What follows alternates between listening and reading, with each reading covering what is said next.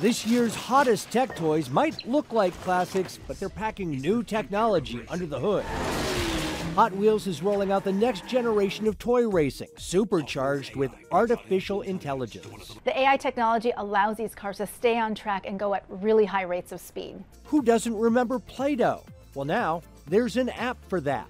Play-Doh is one of those age-old toys that kids just love, and uh, they're updating it by using the smartphone. Even Barbie is getting an upgrade, a smart home, the high-tech Hello Dream House. There's an elevator inside it. That's something that's new. The toilet actually flushes, and you can manipulate things by using an app on your phones. The Flybrix set allows kids and kids at heart to build a drone out of classic Legos.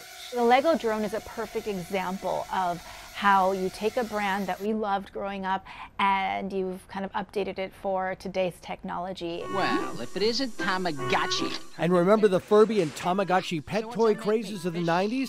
Hatchimals are a hybrid of sort and on the wish lists of many this year. The Hatchimals are the biggest craze this year. We talked to this manager of a Toys R Us earlier today, as well as other analysts, and you just can't find them anywhere. A surprise pet hatches right in your hands. That is, if you can actually get your hands on one. Brian Moore, NBC News.